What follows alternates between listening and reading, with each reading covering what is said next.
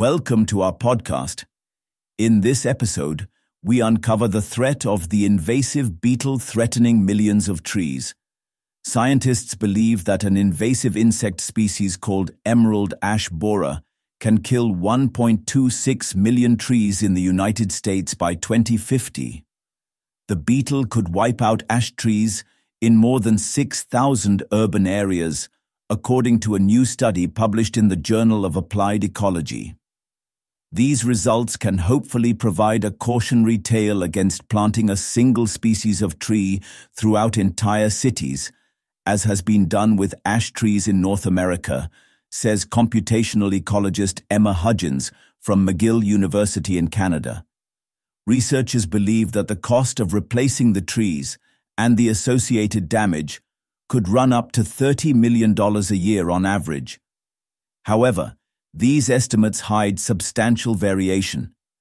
23% of urban centers will experience 95% of all insect-induced mortality. Many urban areas are dominated by a single tree species or genus, which means that a newly arrived insect for which those trees are a host can spread easily says ecologist Frank Koch from the USDA Forest Service Southern Research Station. On top of this, there are usually fewer natural predators and warmer temperatures compared to nearby natural forests, which can benefit invasive insect development. In the US, 82% of the population live in urban settings, and this number is growing, making urban tree mortality a matter of concern for most of its population. Because a number of European countries are already dealing with ash dieback, preventing further spread of the emerald ash borer in Europe is critically important, says Koch. Hopefully lessons learned from North America will be helpful in Europe.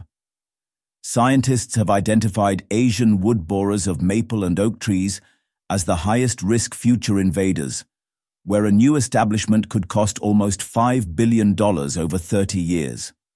The results of the study highlight the need for emerald ash borer early detection efforts. Furthermore, these findings produce a list of biotic and spatiotemporal risk factors for future high-impact U.S. urban forest insect pests. Thank you for listening to our podcast. We have many more such compelling episodes for you. Enjoy them. Do share your opinion in the comment box and subscribe to us for more.